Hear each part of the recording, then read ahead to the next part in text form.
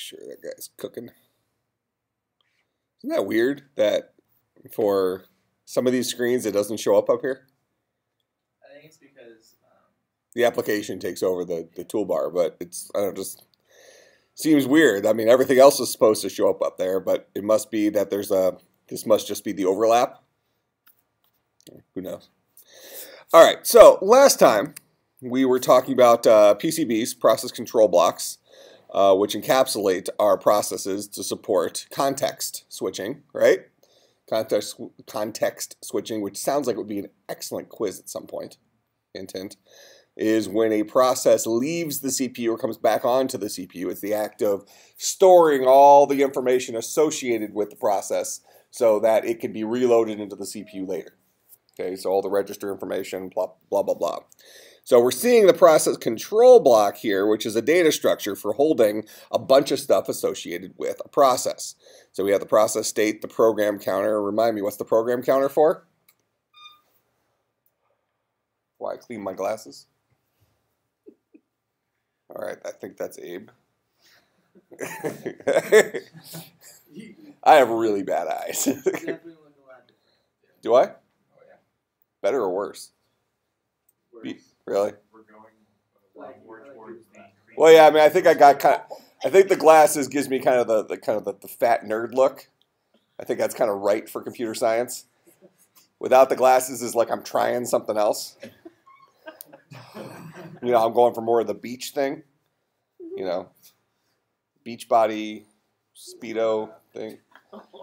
What? Why is why is random people over here laughing? That's creepy. House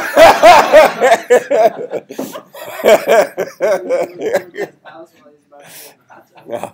So before he gets in the hot tub, you gotta warn him first, otherwise he won't have that speed up. Right? Off the record, you probably wouldn't be able to tell the difference.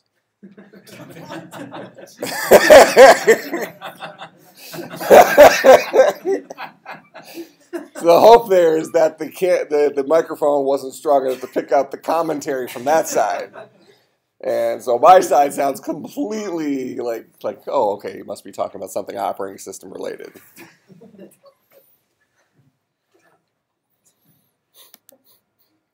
Ay, ay, ay. Creep me out, Yanter. All right. Did, what, what was? Did you answer the program counter thing, Oh, or did we get off on a tangent because I couldn't see you? What, what's a, what's the program counter? I don't uh, remember what line of code we're on. Okay. What line of our assembly code we're on? CPU registers. This is going to be the collection of the values stored in the CPU registers to support the context switching, and then these other things will also support the context switching. This allows us. Uh, this lets us know whether it's uh, currently in I/O uh, or not, uh, so we know whether or not we have to put it in line for uh, to share one of those devices. Okay. So last time we were writing some code to support this, and we're going to write a very simple PCB um, for our simple operating system that we're going to be creating, or operating system simulation is probably the better way of putting it. So we decided that we created a object for storing process state that has all of our states in there, our five different states, and we can call them by name, but in reality we have an integer. Uh, so that we can easily load that into a CPU if we had to. Okay? Because at some point we're going to have a CPU object that's going to mimic the CPU for us, simulate the CPU. All right. And then did we actually test that? We didn't actually get as far to test that yet. Um, so let's just have a um, uh,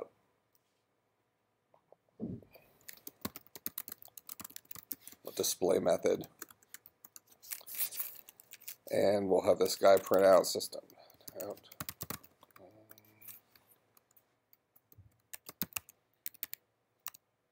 Process.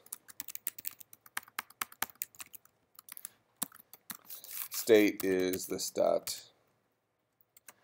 process state, which should be a integer, right?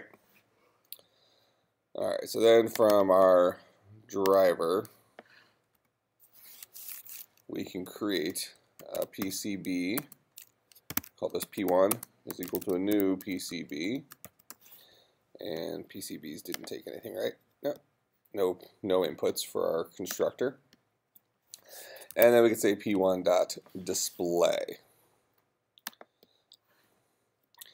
And there's our process state, zero being new. Now, at what point does a process go from being new to being ready? So when you double click on Microsoft Word and a process is generated, which then gets thrown into a PCB at the at the programming side, programming level for the operating system. So a process is an actual thing. It'll probably be represented by an object as well, but it's a we're going to say living, breathing thing, and that's in the Terminator world. Um, so, uh, uh, at what point does that PCB go from a state, or does that process go from a state of being new to being ready? Which means that it's going to be in that queue for our. Uh, where's our picture for that? goes from being new to being ready, which means it's waiting for that CPU in here. What's that process like, do you think?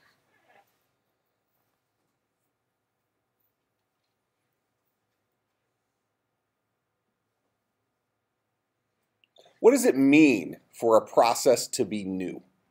So I double click on a process, I double click on Word, and immediately a process has to be born, right? Okay, you know, it has to be born. So now a process exists. What has to happen with that process before it can be, uh, before it's capable of being uh, in line for the CPU? Go ahead. Does it have to load some data? Okay, so get into memory, load some data into the uh, um, uh, the data portion of it, the, the code portion of it, set the program counter to zero, all that junk, right? So if we go back into our PCB constructor, right now we're only storing process state. We also need to store our program counter. And we talked about this last time, right? That's what we were talking about at the very end. How, how big does the program counter need to be? How many individual instructions of assembly code do we need to support? So right now, just to keep it simple, we're going to say this guy is a long, which will allow us to have, what do we decide, uh, like, was it something, was it five quintillion? Five quintillion lines of assembly code. And we say that's a lot, it probably is a lot, but it might not be a lot forever, right? Or at some point in the future, we might have to rely on there being um, uh, primitive types that extend beyond long. Uh, we already have it in object types. We have big integer. So we could certainly use a big integer for this. Problem is, as big integers get, uh, uh, you know, big integers store an arbitrary size. We've all seen big integers in here, right? Uh, actually, there's. We talked about it. yeah, you haven't actually- Have we ever seen? We've never seen one. Okay, let me show them to you real quick, just so you, you know it won't take very long. But um, so big integer is a class. Let's comment out these two things here. And their job is to store arbitrary size numbers. So big integer b is equal to a new big integer. And we'll go ahead and start this guy off at zero. Actually, um, the constructor for big integer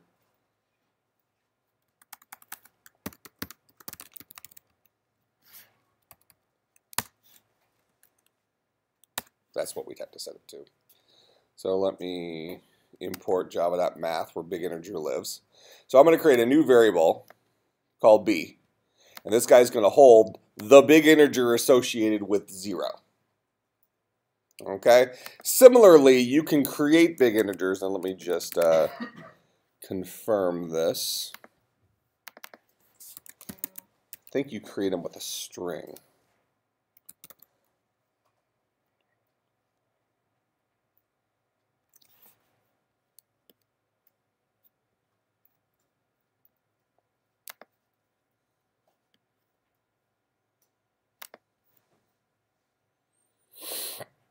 So while I'm doing this, uh, the purpose of a big integer is to hold arbitrary size integers.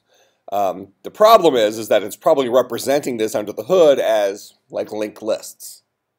Um, so the larger that integer gets, the slower it's going to become. So we have some built-in things. So this is very similar to what we've done with our process state.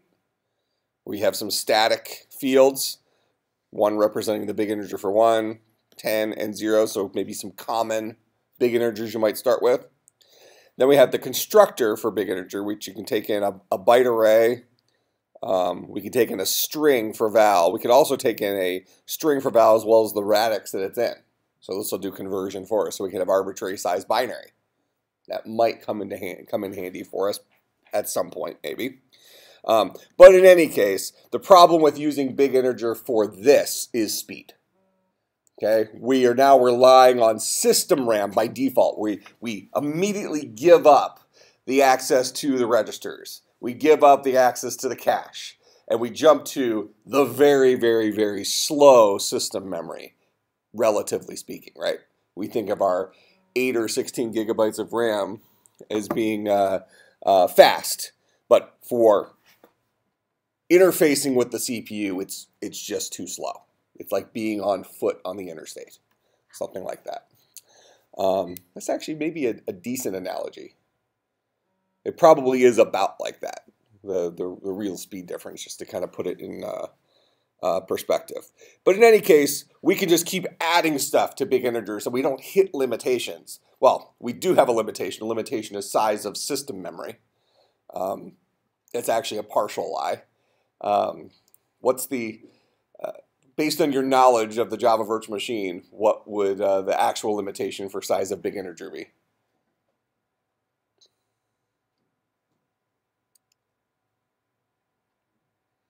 So Java is a program, right, that launches a virtual machine, which is a piece of software that mimics a computer. It's going to request its own memory footprint.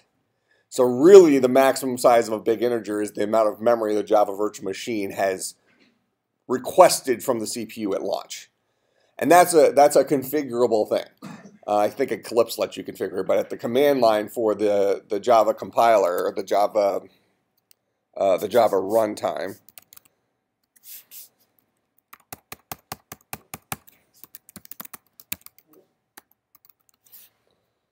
we have all sorts of options. We can pass it at runtime. Uh, and one of them is for memory. So that maybe that's the non-standard options. Might come back to this. Yep, I think it is.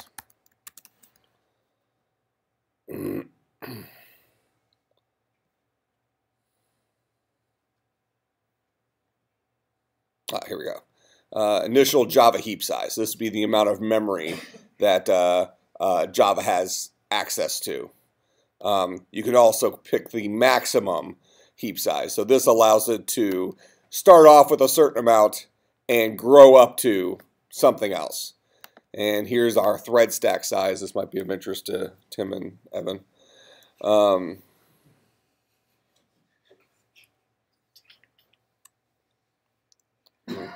with with Fritz in the picture now, I didn't know if there was going to be some stacking issues or something.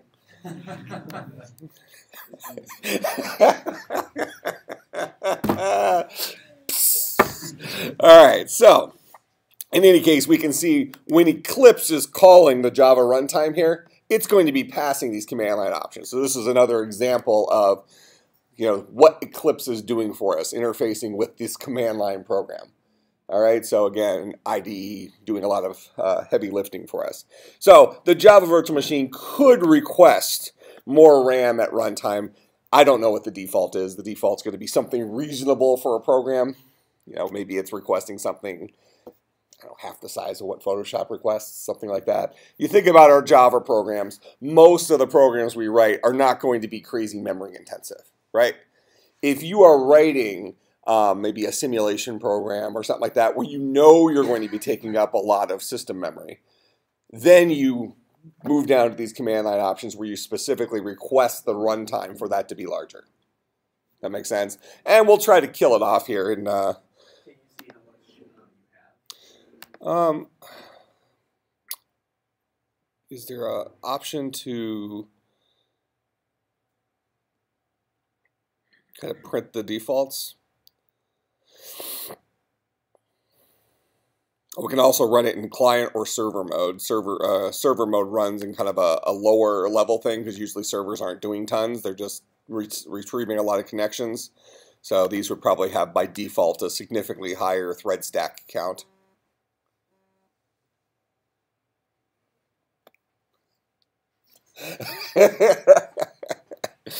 Hey. Man, hear all those bids I'm getting on eBay? Uh, like a thousand Yu-Gi-Oh cards. Those magic cards.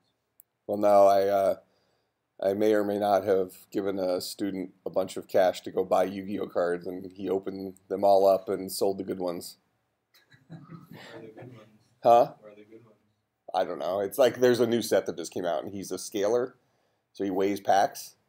So he only opens the ones that have good stuff in them, and then he sells the other packs, advertising them as these packs have already been scaled. Um, so they're not worth as much as a full pack because you're probably not going to get the good good cards out of it. But if you're trying to build a collection of cards, then you can get those for a cheaper price. So he listed like 300 cards on Um, I don't know if we can get the.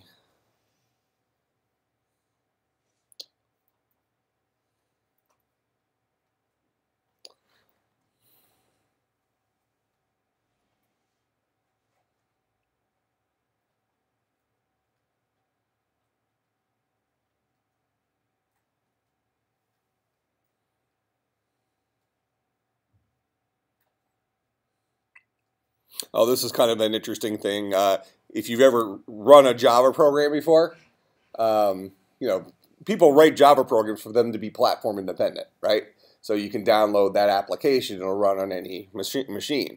Well, you can use the virtual machine to launch a splash image while it's loading. Um, so you actually do that at the virtual machine level, not at not in your application. That's so when it's while it's loading, it does those other things. Just in my initial scan here, I don't see. Maybe is this going to give us something? Let's try it. Xprof. Ooh, thread ticks, Nate, Evan.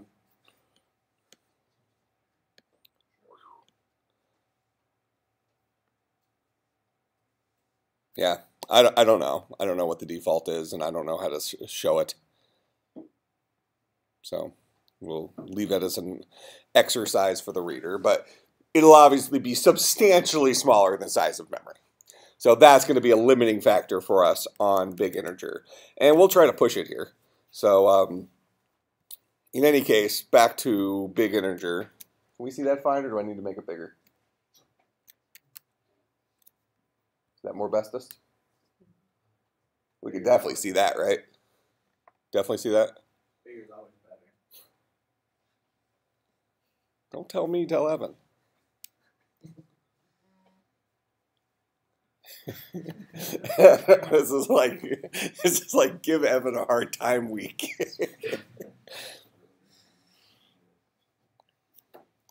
I don't know if that was phrasing. Um, okay, so in any case, in any case, we have a method called add where we can add to big integer another big integer. All right, so we're going to try to really slow down our machine just so we can uh, um, uh, have it, uh, so we can have it grow faster. we're going to add 10 to our number over and over again. So we'll say while true,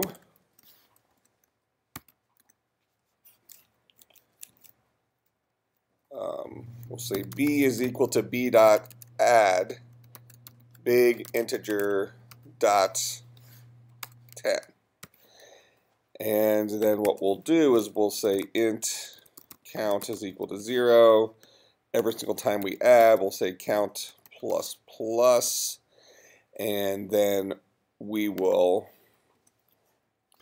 put this inside of a try catch because eventually we're going to have an exception.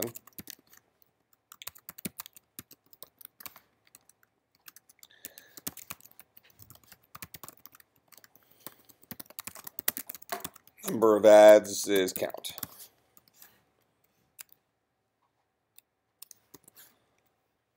All right, so we have an infinite loop here that's just going to keep adding 10 to our big integer forever until we run out of heap space in Java.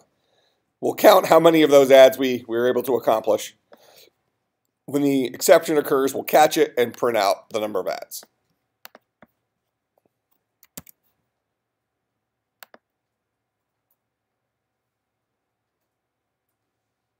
Actually, is it, is it running?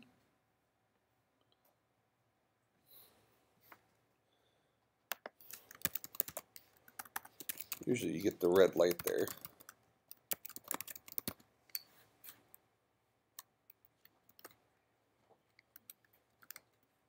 Just print out starting it's Alright, yeah, it's it's cooking. I'm guessing I didn't hit it the first time. I must have zigged off of there.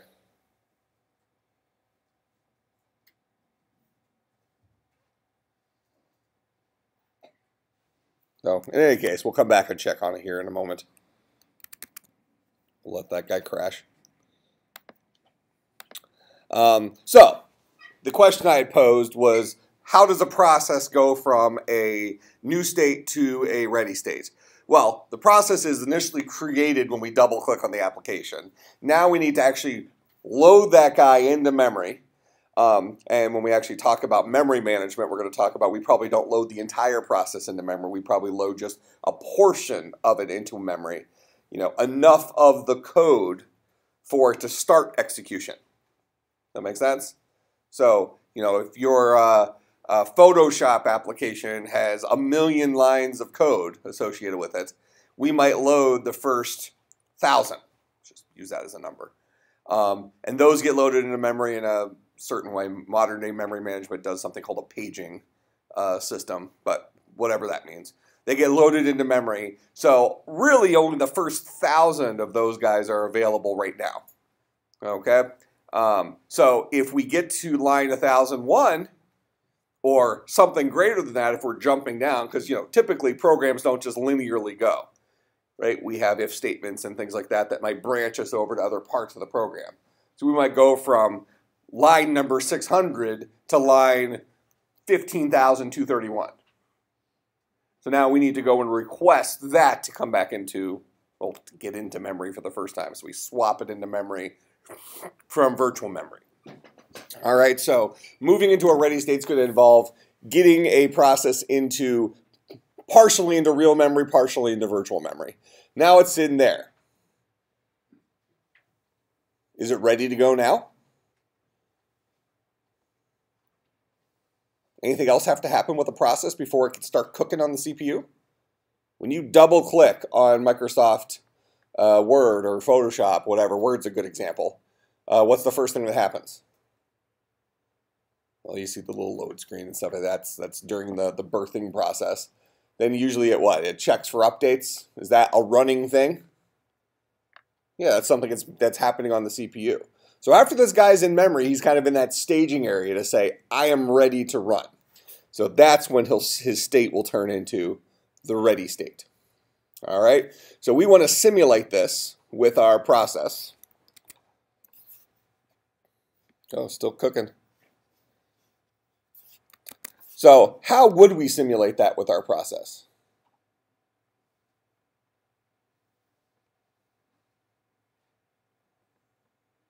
Who controls the process state? That's the question. So we have something called process management. This is our PCB. Uh, doesn't matter, I'll just talk about it, then we'll skip it when we get to it. So we have something called process management, which is one of the features of the operating system. right? Our operating system has a manager who manages our processes. So when we double click on Microsoft Word, the process manager is going to become aware of that. He's going to initialize that variable in Java speak uh, associated with that PCB, load all the stuff into it, put it into memory or put it into virtual memory, whatever makes sense. So that process manager is going to be working with the memory manager. Okay, for right now, we're just going to say loading into memory, and we'll just assume that happens. And at that point, once it's loaded into memory, the process manager then switches a PCB to be in a state of ready. That makes sense? And probably will then also load that PCB into a queue. At the end of the day, it's probably going to be a heap. And I mentioned uh, either last class or two classes ago what a heap is. Any of you retain that information? Not Evan, not Tim, not Fritz. Fritz, you retain it? I did talk about it, right? I mentioned a heap and said what it was. Tim? No. You're not retaining crap these days. What's up? Too much pizza stuff? this is what happens when you work with dough all day.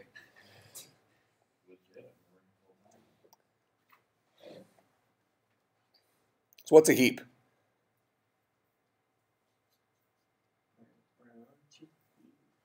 Priority, priority queue. Yeah, so we think about like think about a queue, it's a line, like at McDonald's, right?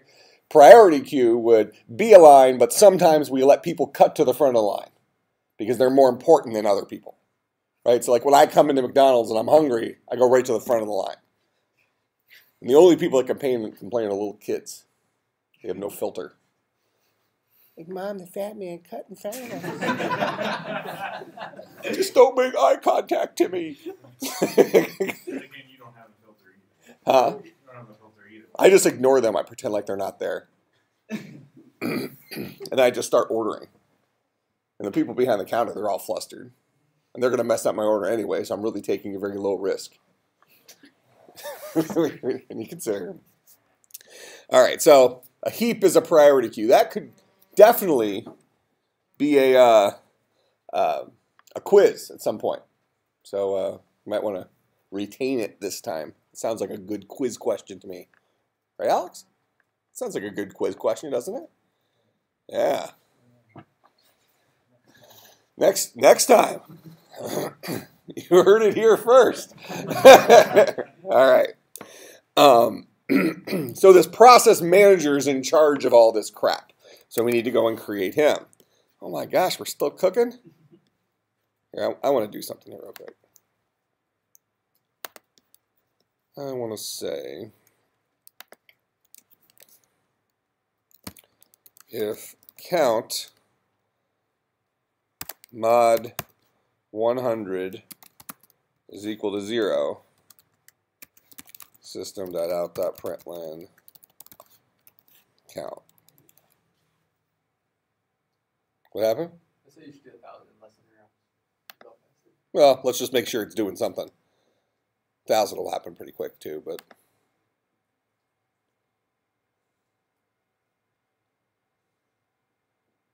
All right, well, it's definitely cooking. So then let's do this based on 100,000.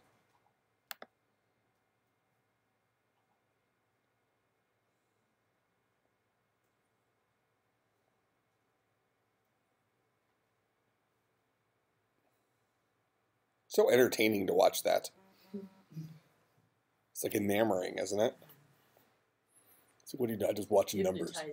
Yeah, that's it. That's the it's hypnotizing. What does enamoring mean? Enamoring is the right word, isn't it? Yeah. Sit there watching and someone comes in, don't look.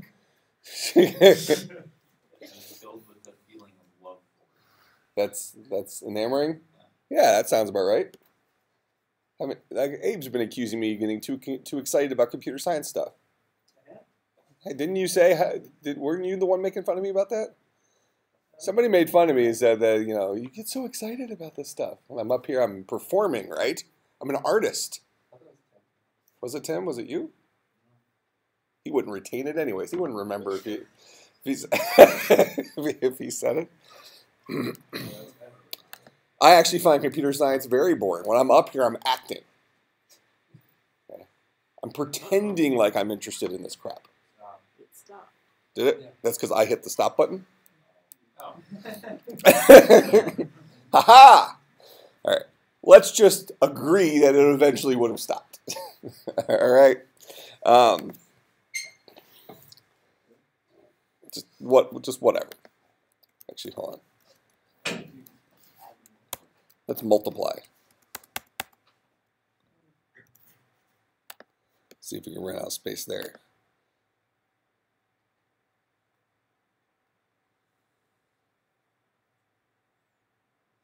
Oh, well, we did circle back. So we actually did run out of maximum size integer. That's actually disheartening because it's supposed to be arbitrary.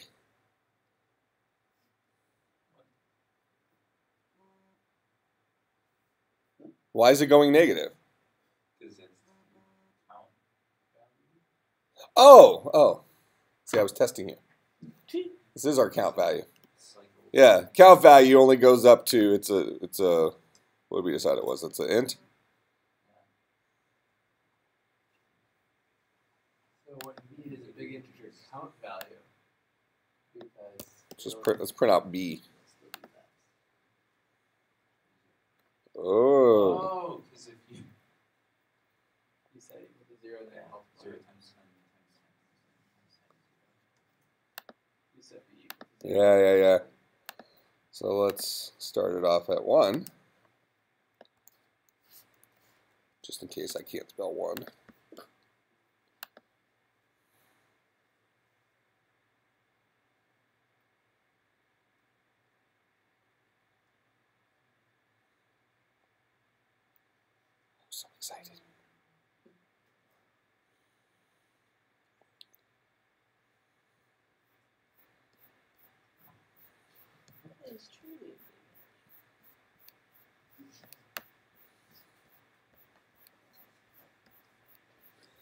Yeah, we haven't even gotten to the next one yet. It's scrolling. Oh, look at this. How do I get it?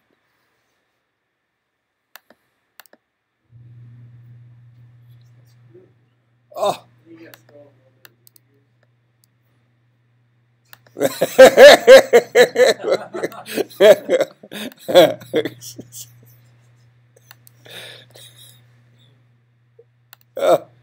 I can't, I can't do this. Ah. I captured it.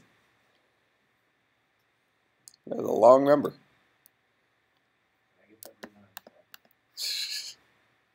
Yeah, like the bank teller will be able to read it. Um, Let's just keep going. We're still at the first one, aren't we? Is it still running?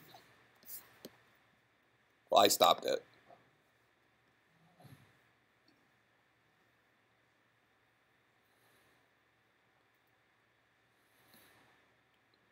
Let's do it by uh, a thousand.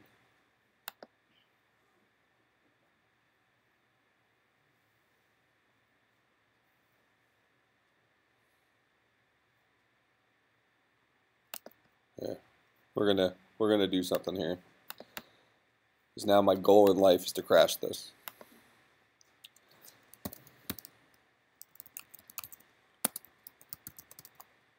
Ha! I learned that word yesterday. Multiplier. That's right. I already knew the. I knew both of those. I just got confused on which which was which, right?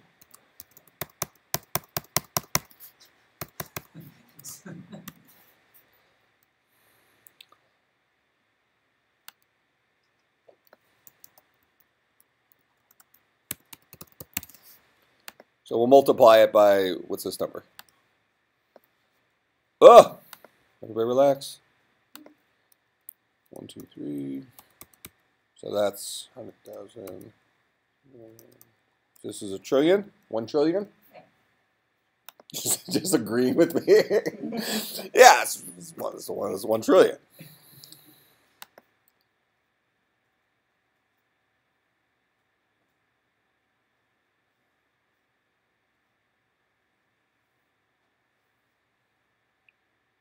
Didn't it originally show more than more than two lines?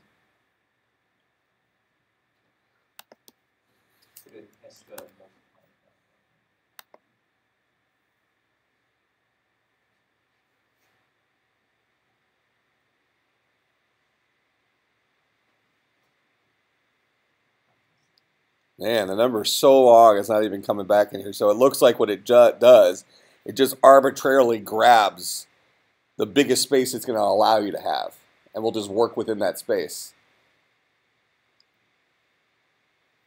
So at some point, I'm not done.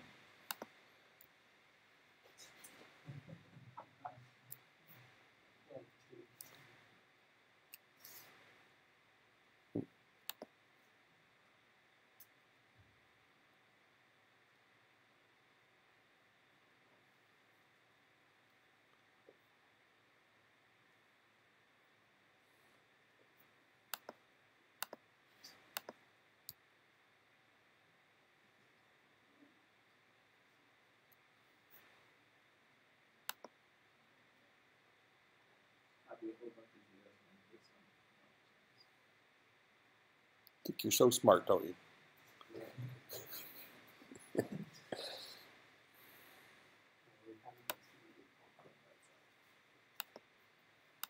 Oh, that's a good idea. So let's do one multiply initially. That way it'll grow exponentially. Boom.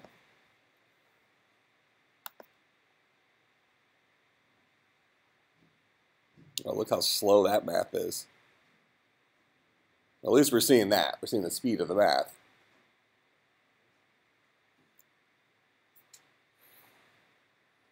Let's do it just once. I can't even stop it. I'm, I'm so busy. so here, we're just, we're just going to print it out every time.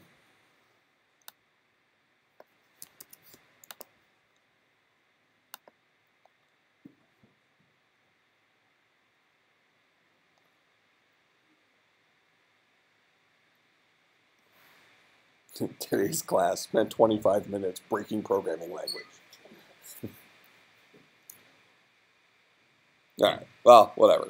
We can see it's slow. And believe me, eventually we will run out of space. But certainly we can appreciate what big integer does for us because this is running out of space way before a long would, right? Or, or way it would be way after a long would. So if I if we did this same thing with a long, um, let's do. Uh, we actually don't need to try, but just whatever. I'll just leave it for now.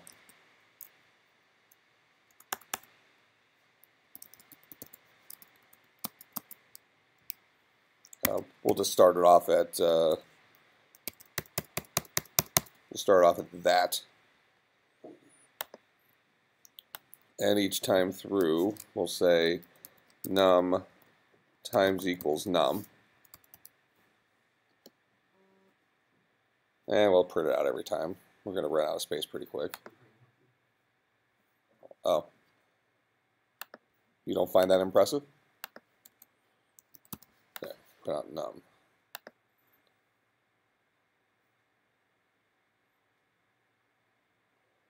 Wait, wait, a, wait, wait a minute. Num start off at a big number. Let's just do num plus plus.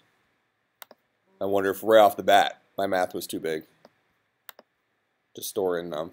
So it literally zeroed out. We had a carry bit. This should show us numbers.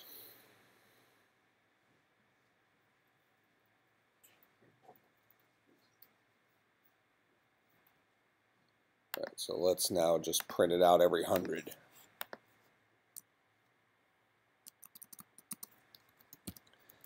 If count mod 100 is equal to 0, then print crap.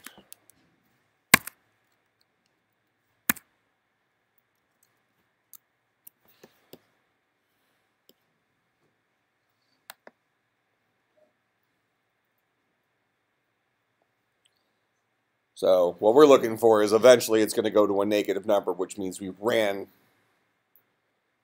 we uh, we ran out of uh, space.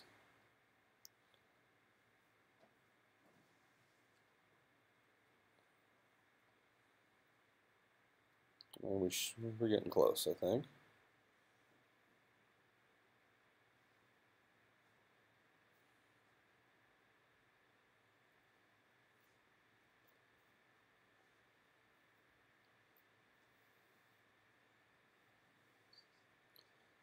It's like watching the uh,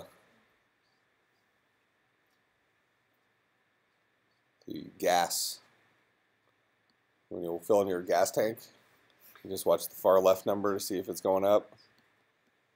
All right, so we're about to pick up our last zero, or second to last zero. Oh, I actually grew that direction. Oh my gosh.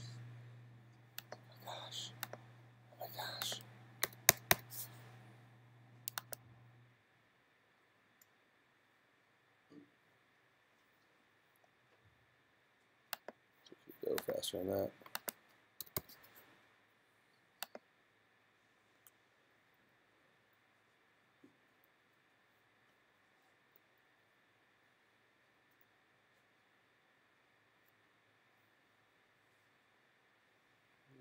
Okay, so now let's do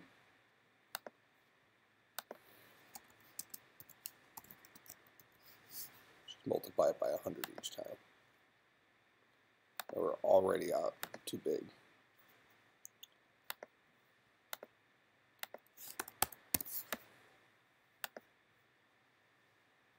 What? What?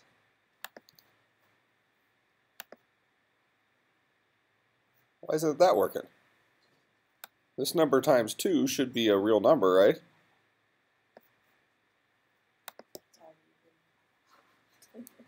That's what I was thinking. It wasn't a number even at the beginning.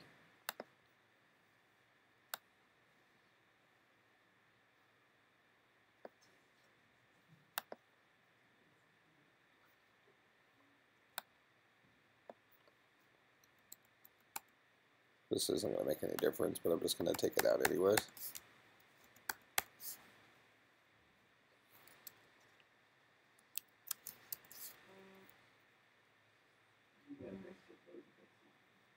You think so? Ha! Just testing you. All right. Why isn't that?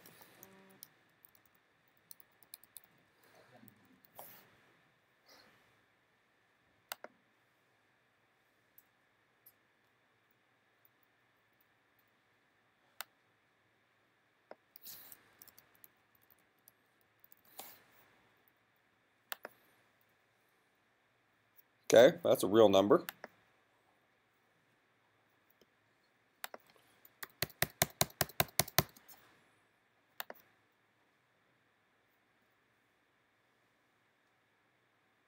These are all real numbers.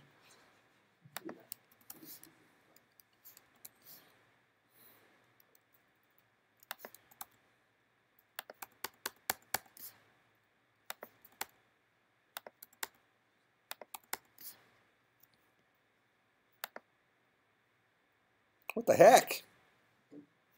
That's today's real question. We're breaking Java right off the bat. So I create a long called num, start off at this number. Is that a million?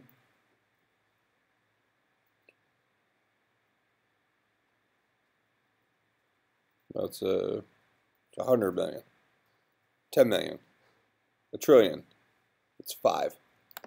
All right, so while true, we're going to take num and multiply it by this number. Well, let's just multiply it by 2. And then display it every time. Uh, we can actually display it every 100. That should be fine. Why is it zero? Evan, what am I doing wrong? We got a real number. We multiply that number by 2. I wonder, actually, I think this is the problem. You know?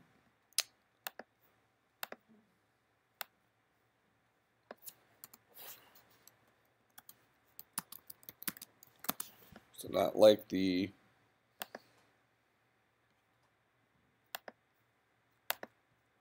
num equals num times two, increment count.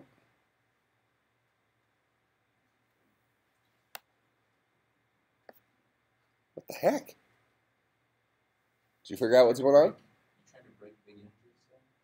I'm trying to break longs this time. So I got a long called num. you just set it to the max value of one minus one, and then Well, I, I can, but I want to know why this isn't working. We're, we're in our final minute here. So it starts off at num as that. Keep going, multiply it by 2 each time. And I even printed it out every time. And it's still just a bunch of zeros.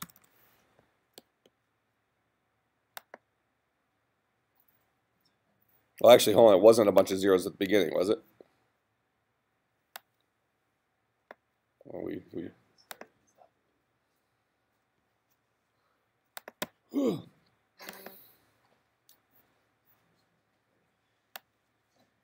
Oh, didn't get it. So we should probably we should probably do this. Uh,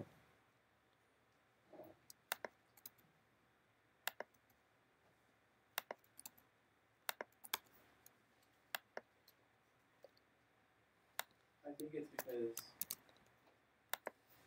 um, it's because, uh, it doesn't recall the entire printing, and it's just printing too much. It only remembers the zeros. yeah, like uh, are we are we breaking I/O? All right. Well, we'll call it quits for today. We're either breaking long or breaking I/O, one of the two. But in any case, I think we we broke Java. We broke some aspect of Java because this shouldn't this should scale just fine. If we did this with ints, I think it would be fine. Whatever. All right, we're gonna write our process manager at some point uh, next class. I'll see everybody on Monday.